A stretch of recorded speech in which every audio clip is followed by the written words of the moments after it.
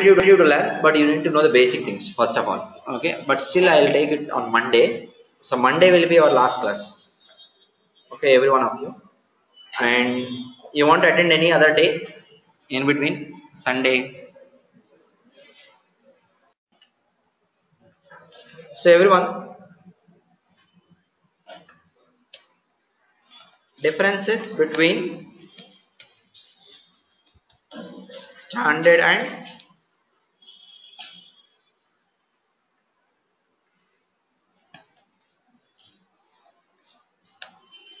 advanced agents.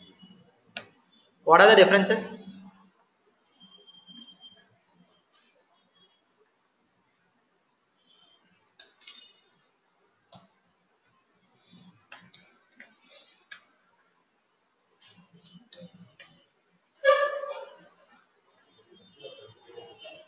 First of all, processing wise.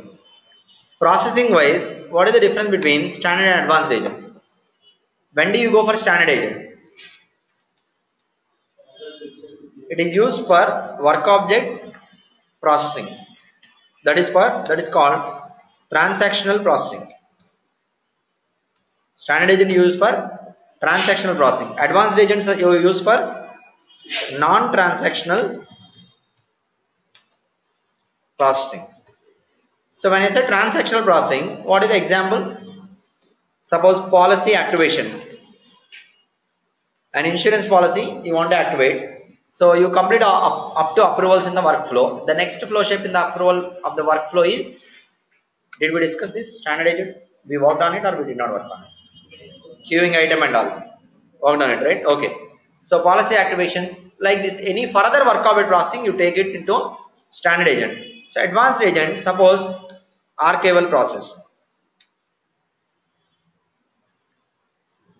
So archival process. Archival process means you're going to take the backup of the data into another table and free up the source data.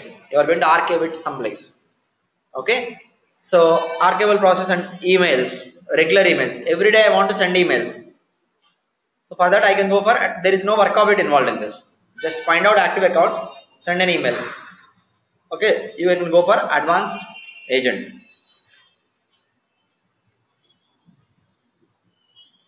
So now,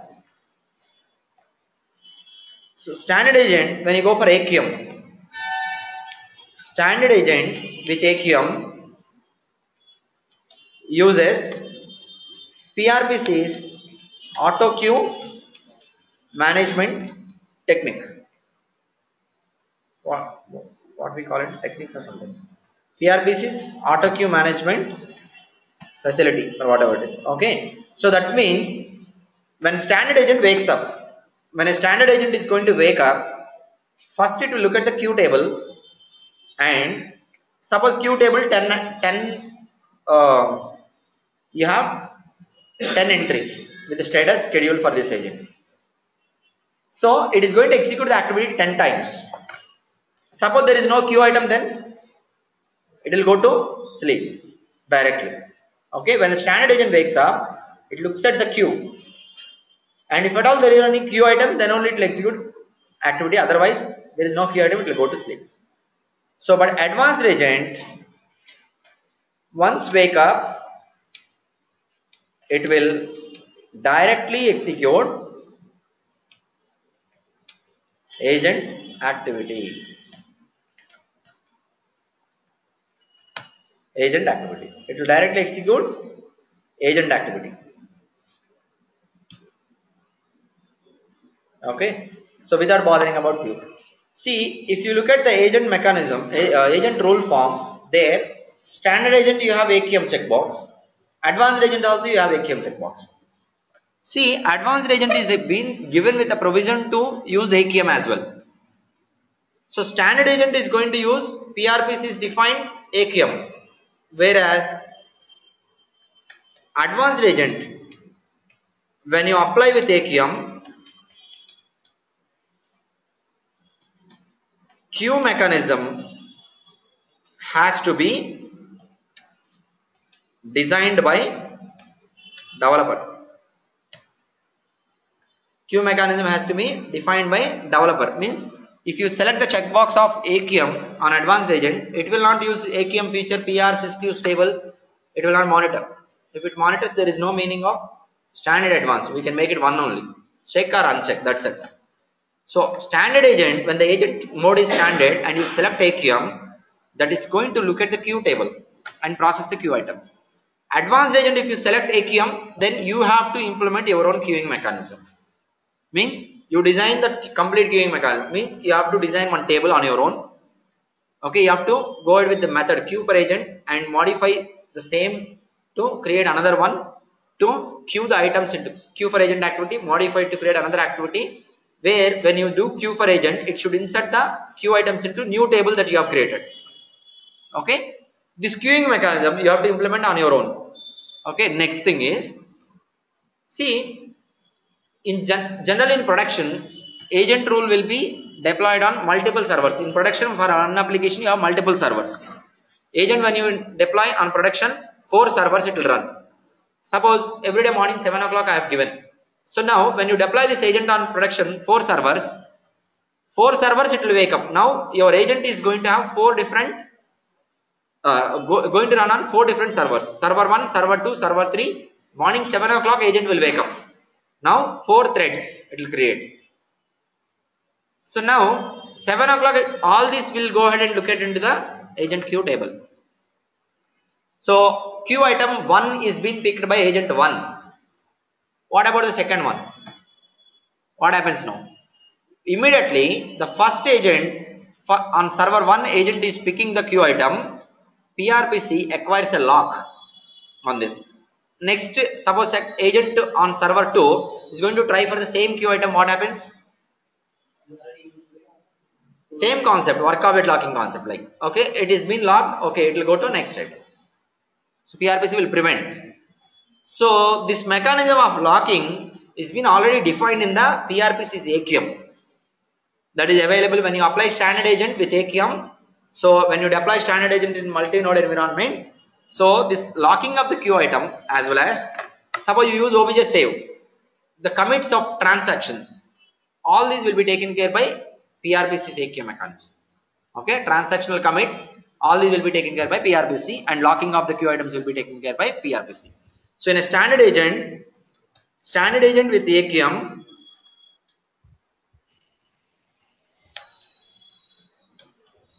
queue item locking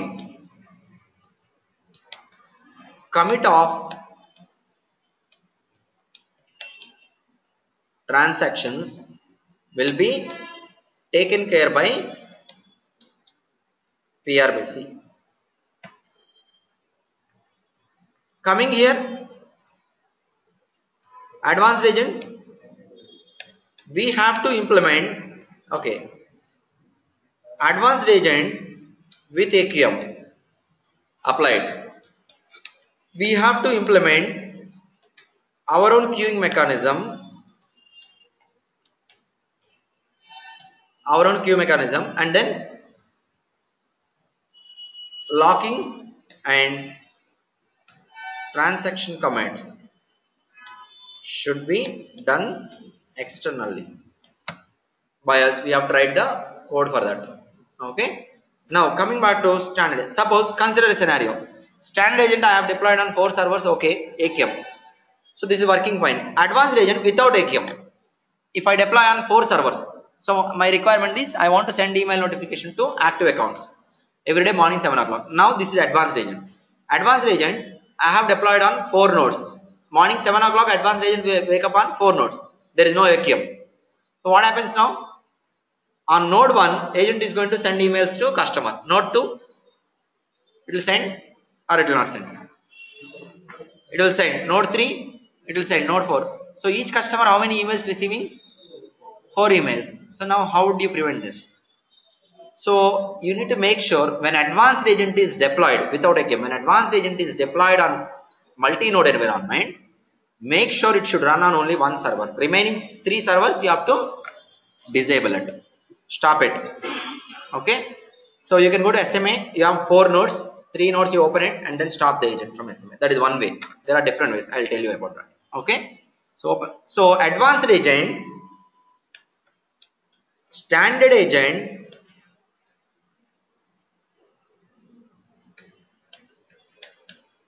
preferable to run on multiple nodes because everything PRPC will take locking and all. So one queue item processing, another one is not going to do the same work again. Okay, but advanced region preferable to run only on one node in only on one node. What is the next difference? This this one clear? This point, everyone. Okay? So next you look at here in the agent rule form. I'll save this uh, if you open the agent rule form records agent. Suppose some agent i am going to open. See security tab you have access group. Right when you are going to use standard agent, standard agent will not use this access group. Then standard agent runs on requester's access group while processing queue item. Suppose I will tell you now. Suppose queue item 1 is being placed by manager. Queue item 2 is being placed by user user access group is different manager access group is different. So when standard agent is going to process first queue item the activity will execute right? That activity will be executed on the access group of manager. That is the access level will be taken. Second time second queue item is processing. Second queue item is being inserted by user. So when it is executing activity now it will run on the access group of the user. So standard this is how it is designed. Standard agent is going to run on requesters access group while processing the queue items. Whereas advanced agent, there are no queue items. Advanced agent runs on access group specified in